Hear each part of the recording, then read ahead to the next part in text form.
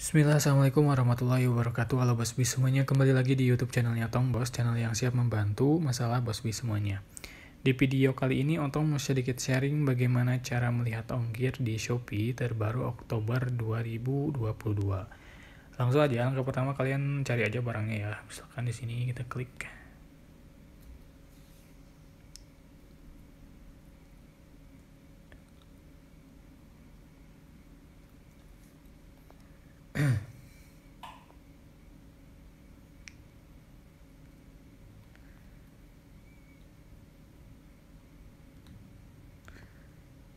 Nah, di sini ya, misalkan kita klik dulu untuk barangnya.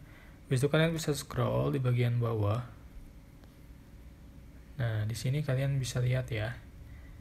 Ada tulisan gratis ongkir kirim. Kalian Nah, kalian bisa lihat di sini. Ongkirnya itu kalau pakai reguler di sini ke alamat kita ya. Dari si penju dari toko ini ke alamat kita Reguler itu 14.000, hemat 10.500 dan Shopee Express Point ini ambil di tempat 7.000. Tapi karena mereka mengaktifkan gratis ongkir ya, jadi di sini kita bisa pakai voucher gratis ongkir, bisa bisa 0 rupiah.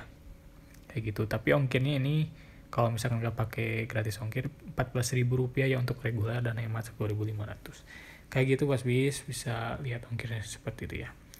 Jangan lupa untuk like, comment, share, dan juga subscribe. Sampai ketemu di video selanjutnya.